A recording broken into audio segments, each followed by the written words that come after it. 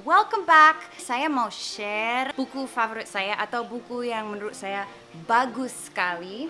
This is the first and maybe the only Indonesian book I've ever read. Jadi waktu itu aku kagum sama Bob Sedino. Jadi saya kontak dia dan minta ketemuan dan dia mau ketemu sama saya. Pas ketemu, uh, aku sempat minta dia untuk jadi mentor saya dan dia bilang no. Just read my book. And so aku pergi ke toko buku dan aku beli bukunya. dia punya dua buku dan aku beli dua-duanya and uh, it was fantastic. Saya ikhlas baca dalam bahasa Indonesia, walau sedikit lebih sulit bagi saya. He was like so poor and he was like taking cigarette butts out of the ashtray, getting the tobacco out and rolling sampai dia bisa jadi orang sukses. Ada banyak pelajaran di sini dan sisa buku ini bahasa Inggris, tapi beberapa dari buku ini sudah diterbitkan dalam bahasa Indonesia. Think and Grow Rich, Rich Dad, Poor Dad, udah ada bahasa Indonesianya, and they are so important for changing your mindset, like rewiring your brain, biar cara berpikir kita lebih seperti orang sukses dan bukan seperti orang susah. karena sebelumnya mentalitiku seperti orang susah. Uh, apalagi saya lama uh, jadi orang yang agamais sekali and I used to pray to be poor. I swear to God, I don't know why. It was just like me thinking I would be more righteous if I was poor, like a poor monk or something. I don't know. Satu lagi buku yang sangat penting dan juga uh, ada di bahasa Indonesia tapi yang ini bahasa Inggris. It's it's Women and the Art of War tapi yang penting Art of War. That's the important one. Sun Tzu. And my aunt, she was a very successful woman, had a very small pocket version of this book, like kecil gitu, and she would carry that around with her in her pocket. So ini bisa dibaca berkali-kali and learn something new every time. Gua gua nggak suka hardcover tapi karena kalau hardcover gini terlalu sayang, so ya nggak ada coretan. So mungkin aku harus beli yang yang paperback. Now this book is like a life-changing book. Ada banyak uh, coretan karena paperback ini worth it banget reading buku ini um, kalau tidak mau jadi budak.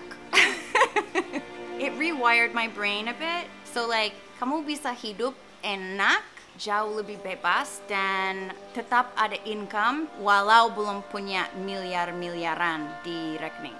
Very good, very detailed. Ini aku beli, pasti kamu pernah lihat di Perry Plus tapi I guess it was menarik. Not my favorite though. Mungkin bermanfaat untuk bantu kita menghayal atau atau bantu kita cari ide karena banyak orang seperti ah gue nggak bisa buka usaha nggak punya duit nggak punya modal. Kalau kamu orang seperti itu mungkin kamu bisa beli ini. Uh, tapi banyak ide bisnis di sini. They don't really have the potential to grow. Ini buat pemimpi kecil. Ini oh aku udah baca dua kali. Ini buat pemimpi yang besar. And I'm gonna read this again even uh, karena kita semua pikir kita tahu semua kan. And then you read something you're like, what? It's not like that? Gitu karena misalnya Monopoly. Kalau kamu dengar kata Monopoly, uh, kesannya jelek sekali kan? Monopoly, bad. Peter says, Monopoly good, competition bad, and here's why. And I was like, and I'm like, Peter, I'm with you. It's, it's really interesting. The Black Swan, I, I didn't finish this book. It's about how things that change the world cannot be predicted. Like, we don't know when the earthquake's gonna happen and what opportunities are gonna come and what disasters are gonna come. So, yeah, I didn't finish it. For now, it's just on the shelf. Nobody really knows what the future holds. I want to know how the world works, but this is a recipe for depression. I used to read Noam Chomsky when I was a kid, though. Um, that's basically a collection of his articles. Ini saya beli waktu ke Jogja kemarin, ada di PD And uh, yeah, saya mau belajar lebih banyak tentang finance and investments. I'm excited to continue reading this. Ini direkomendas rekomendasikan di mana-mana. Semua orang bilang kalau mau sukses, kamu harus baca buku ini, Getting Things Done. It must be a bestseller. But man, you know the irony? I couldn't finish it. Where am I? Oh yeah, aku baru baca segini dan uh, aku terinspirasi untuk lakukan satu project dengan skill yang saya dapat di bagian ini. So I started working on something uh, and then I never got around to finish the rest of the book. I don't know, is that good or bad? Tapi I want to finish the book and uh, I'll probably reread it from the beginning. Buku ini mungkin di satu kategori ya. You've seen these di Periplus, The Economic Naturalist, The Undercover Economist, Think Like a Freak, When to Rob a Bank. Uh, dulu I, I had Freakonomics, tapi udah aku kasihin ke orang. These books are very entertaining. I think they really help make you a better conversationalist. Tidak ada yang membosankan di buku ini. This one here is a pregnancy book, a buku buat orang hamil, tapi I loved it. Um, soalnya bukan hanya karena aku hamil pas baca, tapi for me it really changed the way I think um, about internet research now. Karena kalau kita riset di internet, sering sekali kita baca itu dan langsung percaya tanpa minta lihat sumbernya. What did the study really look like? Where is the study? Where is the proof? And cara uh, penulis itu suka mainin kata. Misalnya, oh kalau kamu berenang pas hamil, anak kamu lebih mungkin kena autism dua kali lipat tapi kalau kemungkinannya titik 0001, then it dua kali lipat is titik 0002. Kecil sekali. Lalu dibikin clickbait. Wah, ternyata kalau kamu begini, kamu bakal punya anak otis or something. Like, it's just so good. And it reminds me of these books. So like, why sushi and cheese aren't so bad, but gardening could be. and of course I read this I don't want to reread it though. Takut takut jadi stereotyping orang. Tapi waktu aku baca dulu, aku suka. Tapi sekarang udah nggak suka. Also, I listened to two audiobooks recently. I listened to FU Money and The Richest Man in Babylon. FU Money was very inspirational. It makes you feel pumped and like ready to take on the world. And the richest man in Babylon was, oh, I have to buy that. I have to own it. It was so good. Ilmu yang ada di buku itu, it's gonna last forever.